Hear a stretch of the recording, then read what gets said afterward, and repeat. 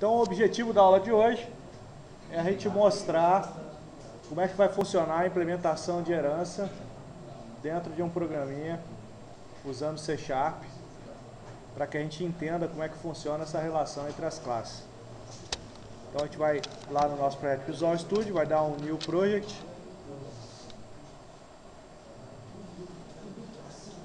Vamos lá para um projeto de Class Library que vai ser o projeto 2017, a nossa aula.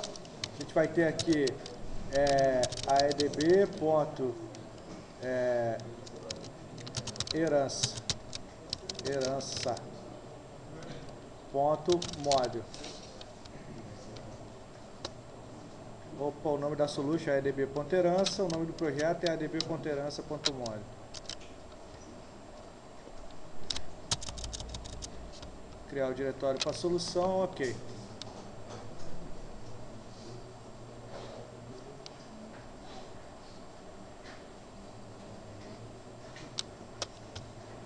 Bem, a primeira classe que a gente vai construir é essa super classe aqui. Tá? É, vou construir ela como fornecedor.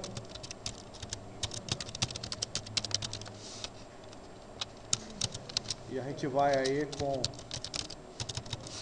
o public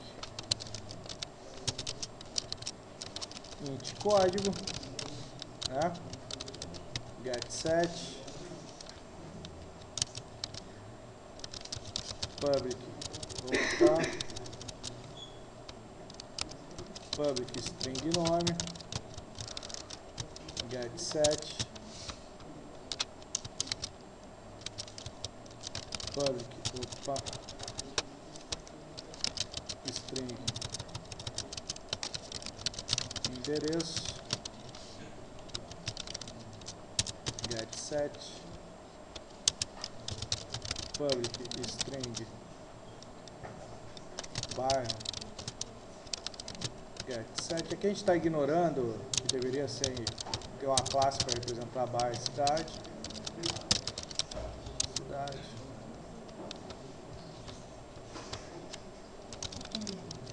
Get set. A gente esqueceu o número, né? Vou colocar o número da residência aqui também.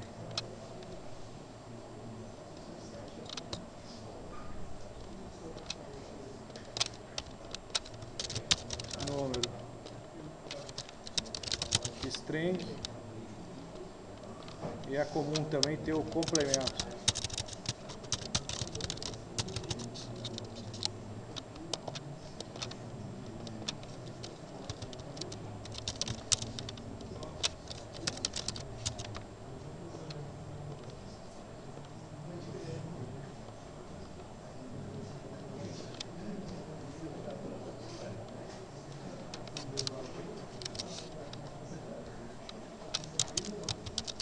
Public string número get set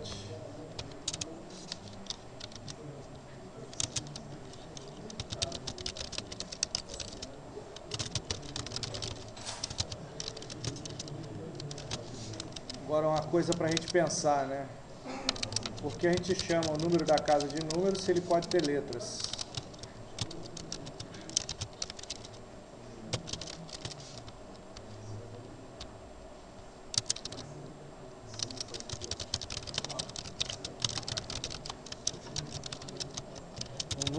Ter letra. Essa foi uma boa. Né? Se você usar a base 16, inclusive, ele pode.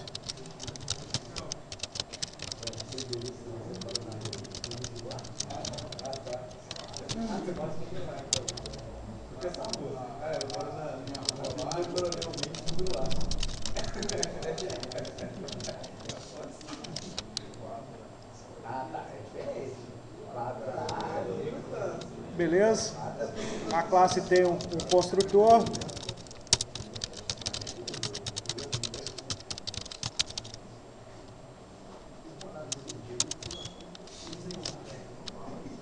Show? Então, nosso segundo passo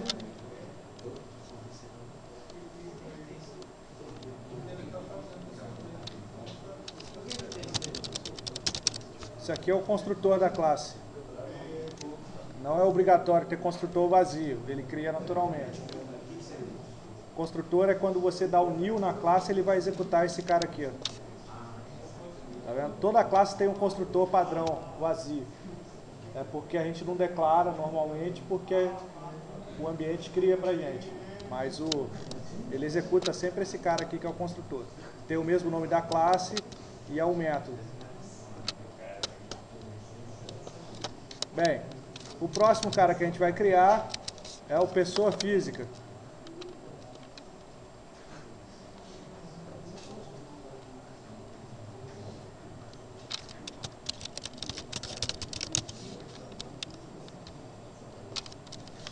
Bem, aqui é a sintaxe de herança.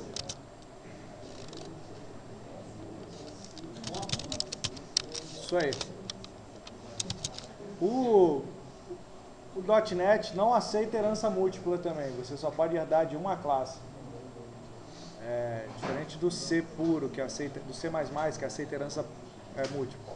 O Java também não aceita herança múltipla, você não pode herdar de vários. Mas você pode herdar, você pode implementar uma interface e herdar de uma classe, não tem problema. Ele aceita fazer essas duas coisas. A implementação de interface e herança de classe. Mas herança é só de uma. Herda de fornecedor. Aí aqui a gente vai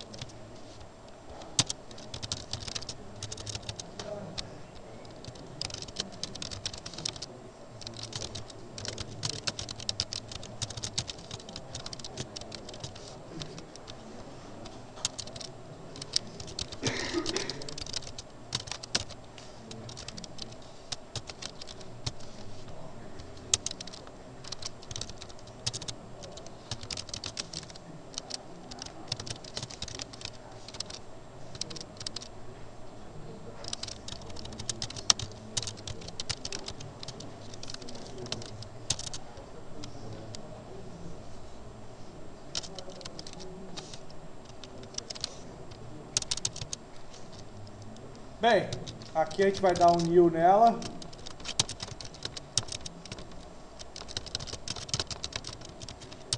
Vamos ver se eu vou ter o erro que eu quero.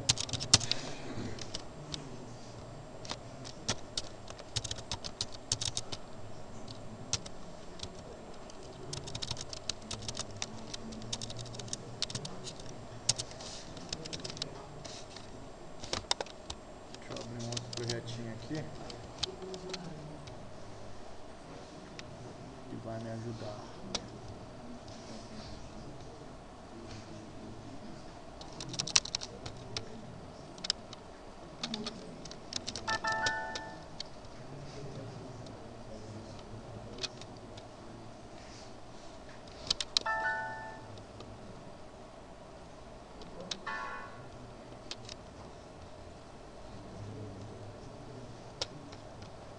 Qual que é o, o grande lance aqui?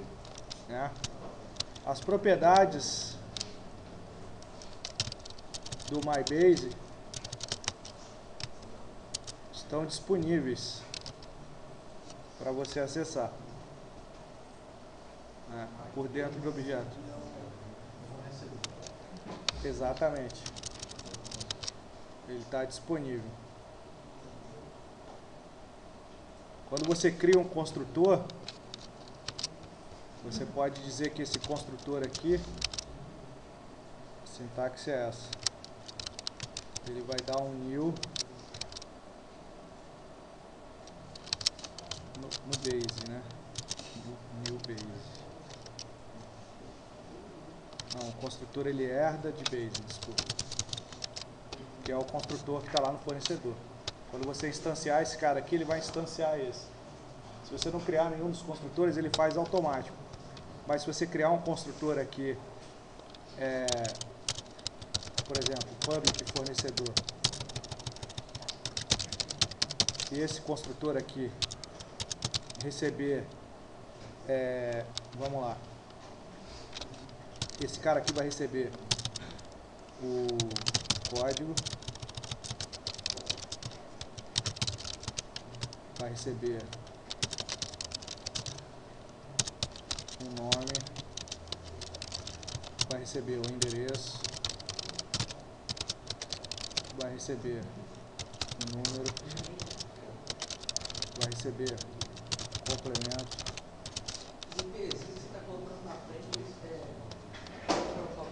É só para identificar. Porque eu não posso colocar o mesmo nome do atributo do objeto, entendeu? É de parâmetro esse pezinho. Eu não posso colocar o mesmo nome do atributo aqui, ó. Senão eu perco acesso aos atributos. Entendeu? P complemento. String P bairro. String P cidade. Deixa eu ver qual que falta aqui. String UF, telefone e-mail ramal.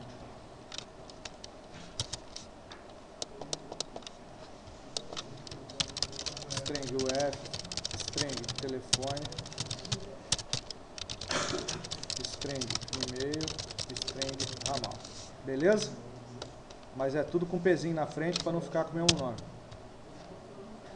Aí quando usar esse construtor aqui, você vai atribuir nos objetos internos, nos, nos atributos internos, esses valores. Ramal, abriu, fechou. Você vai atribuir lá no, no código. Como é que ele nomeia? Código igual a p código. Nome igual a p nome. Endereço igual a endereço.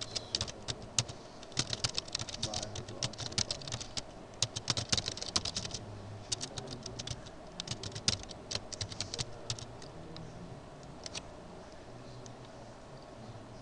Opa, o código é int, né?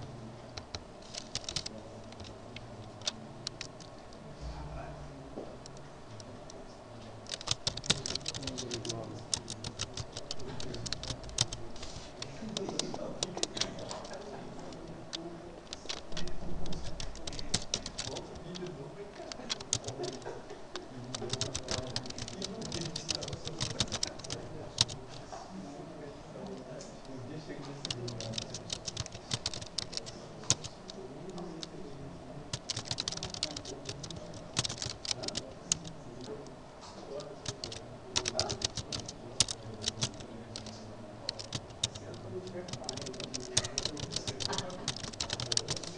Foram todos?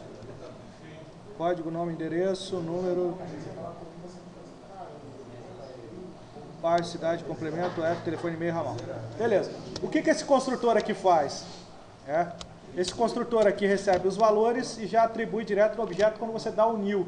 Aqueles métodos que tem assinatura quando você dá o new, você acabou de criar um para você, que ele já vai receber os valores direto no new. Tá? E aqui, quando você fizer o construtor da herança, você pode fazer um construtor que também faça isso.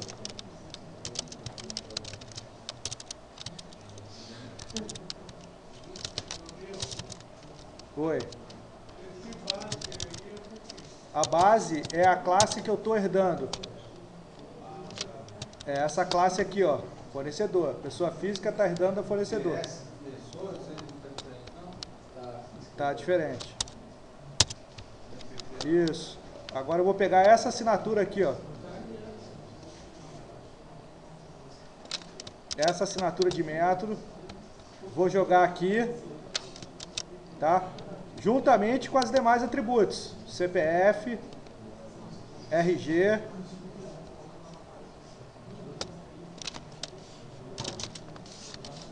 Opa.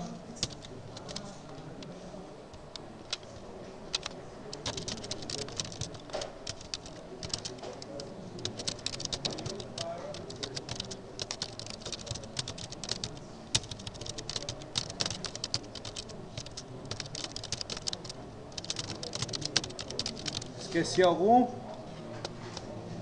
Esqueci o sexo.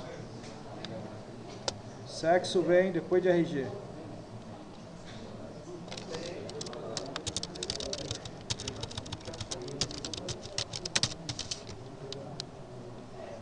Beleza?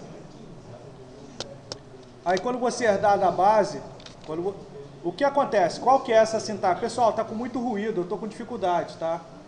Gostaria que fizesse silêncio.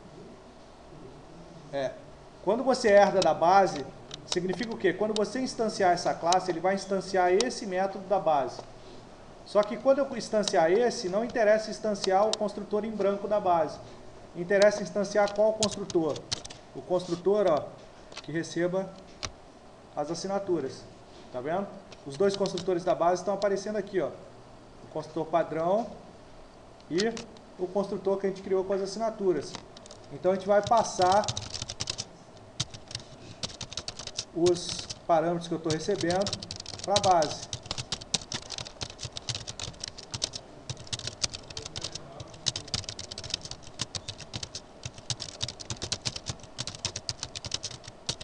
O que pertence à base. Agora, os demais que eu estou recebendo aqui pertence a esse cara.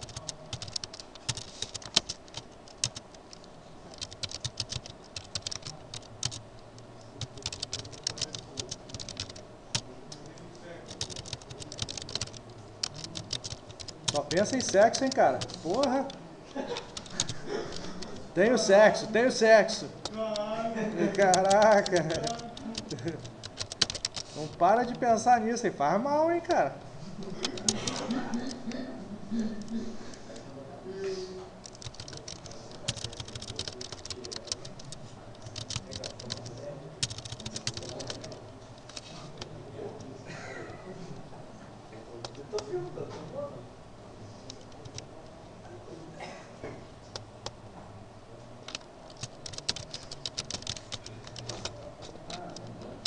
Então, tudo que usar da base, eu tive que fazer essa referência né, ao base e tudo que eu usar dessa, eu fiz dessa. Esse construtor aqui é o construtor padrão da base, que a gente criou aqui, ó, vai fazer o que está aqui, ó. E esse outro construtor, ele faz também o construtor da base, que é esse construtor aqui, ó. Você conseguiu vincular as duas coisas da herança para a base. Agora, qual que é o grande lance? É a gente entender como isso funciona na prática. Vou criar aqui um projetinho Windows Forms, só para a gente ver. Vamos criar um Windows Forms. Vai chamar aedb.herança.view. Né?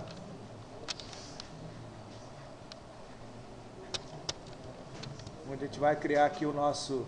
Podia criar um projetinho de teste, mas eu vou pre preferir criar o form para a gente testar. É o FRM testa herança. É. Demonstração de implementação de herança.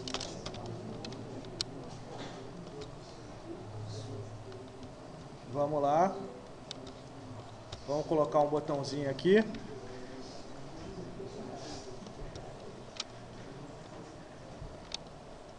Esse aqui vai ser o BTN pessoa física. Beleza? Pessoa física. Tem que fazer a referência, né? Muita gente esquece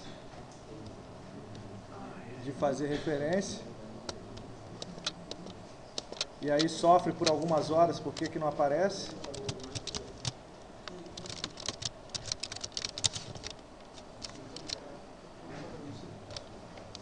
Vamos fazer referência ao projetinho da Model, só para a gente testar.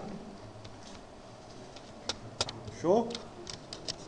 E agora, vamos testar aqui pessoa física. Vamos dar um use. A EDB. O que acontece? Se você pegar o fornecedor direto,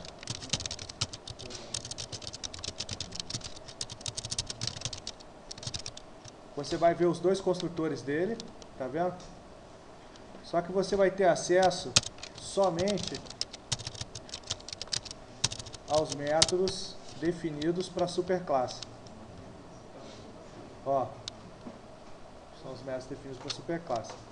Que são esses caras aqui que a gente implementou. Né? Só que a gente quer instanciar a pessoa física para ter acesso, além desses caras aqui, esses caras aqui. Então a gente vai pegar aqui, ó, pessoa física, OPF igual mil pessoa física. Olha os construtores que a gente criou lá. Tá vendo? Esses são os construtores. Olha o acesso aos atributos. Então todos os atributos, inclusive da superclasse. Então quando você fala que é, que é herança, na verdade é como se você tivesse criado um objeto só, enorme. Ele é pessoa física, mas ele é também fornecedor. Você tem acesso, por exemplo, ao atributo código, ao atributo nome, que pertencem a quem? Pertencem à superclasse.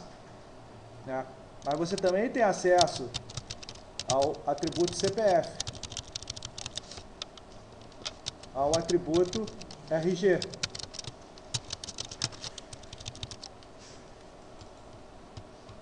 Que pertencem à classe herdada. A classe especializada, né? Então esse é o, é o, grande lance da herança. Você consegue criar é, objetos né, que têm ambas as características onde você vincula o filho, né, o especialista com a superclasse. E aí quando você acessa um construtor diferente, igual a gente fez, que é, por exemplo, é, vou criar aqui OPF1 igual a new pessoa física, é esse outro construtor, tá vendo? Eu vou passar os valores. Já vai direto.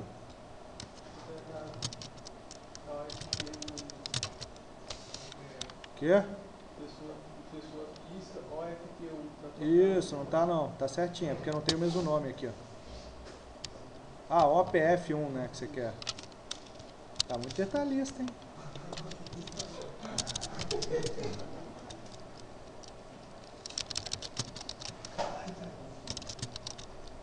Vamos continuar aqui, ó.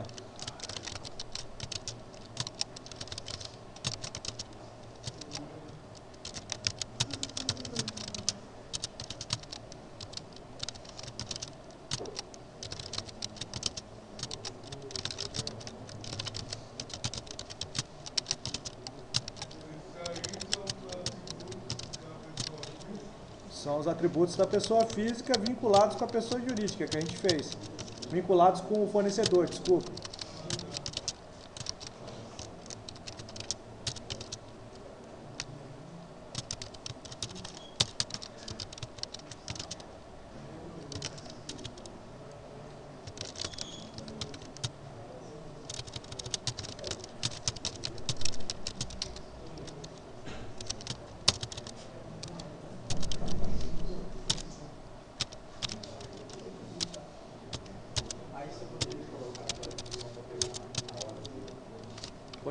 Date time ponto não.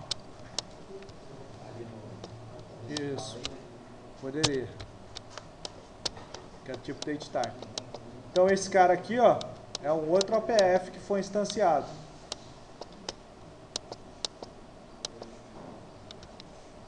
Então vamos, vamos executar passo a passo aqui para ver o que ele faz. Set Startup Project. Vamos entender aqui o que, que ele faz.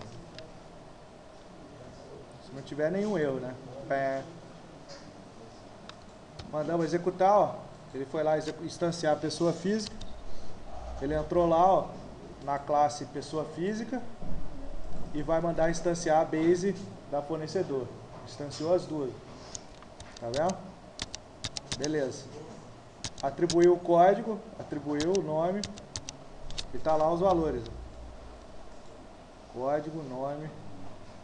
Show? É como se fosse um objeto só, na verdade, com todos esses atributos. Ó. Olha lá. Quando você debuga, aparece o base e os outros atributos.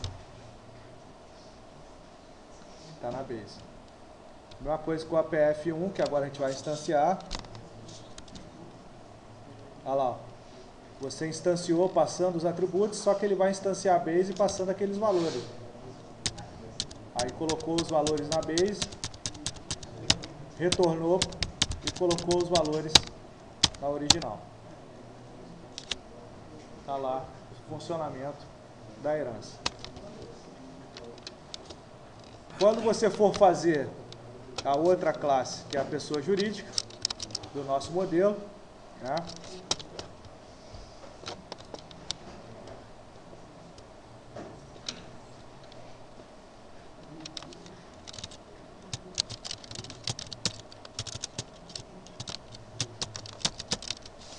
Pessoa jurídica.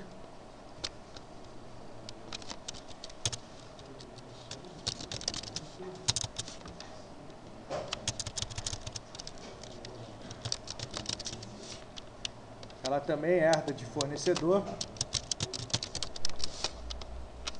Correto? E ela vai ter os atributos public string CNPJ, get set public string. Nome fantasia. Get set. Public string. Inscrição estadual. Get set. E public string. Inscrição municipal get set. Beleza? E aí, a gente vai ter a mesma coisa, ó, o construtor pessoa jurídica, né, que ele está herdando, ele vai executar o base. Né, e o outro construtor vai ser igualzinho o da pessoa física só vai mudar os atributos pertencentes à pessoa jurídica. Calma aí, aqui a pessoa jurídica. Vai mudar os atributos aqui, que era CPF, RG, que passa a ser os atributos CPF, CNPJ.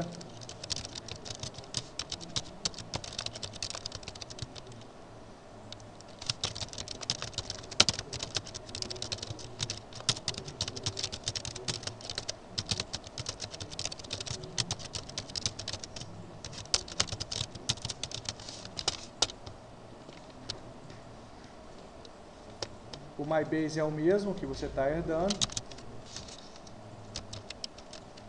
E aqui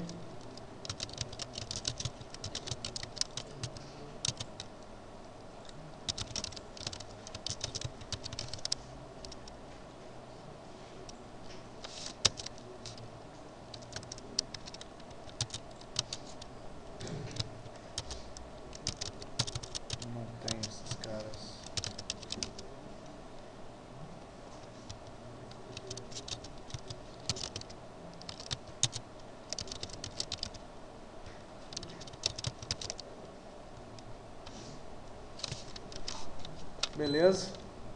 E a gente criou aqui o nosso modelo de herança. A gente agora vai testar a herança da pessoa, opa, da pessoa BTN, pessoa jurídica.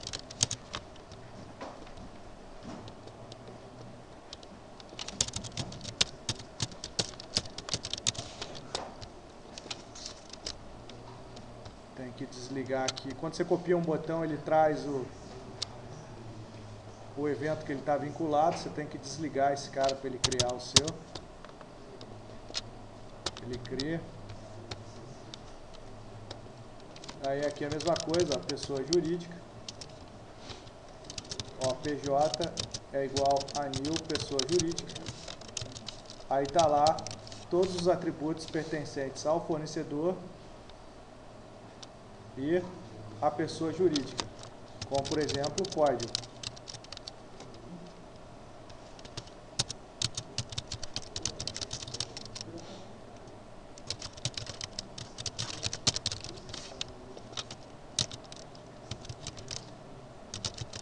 E os atributos específicos dela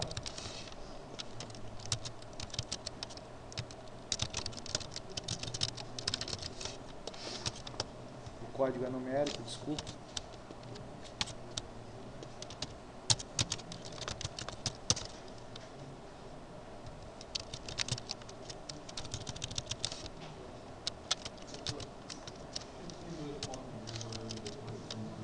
Porque está errado.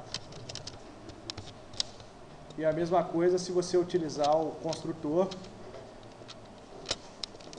usar o construtor, pessoa jurídica OPJ é igual a NIL pessoa jurídica e tem o outro construtor que a gente também criou que recebe os valores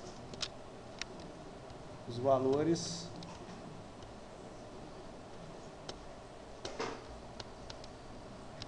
caramba, hein?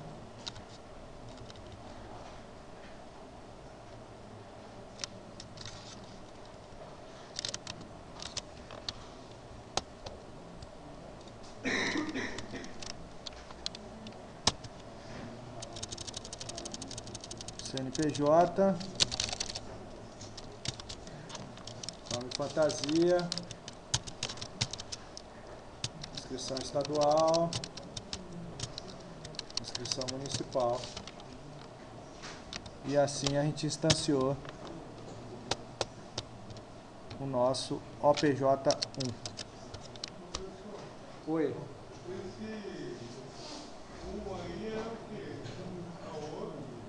O que? Esse 1 um aqui é outra variável. Não pode ter o mesmo nome da de cima.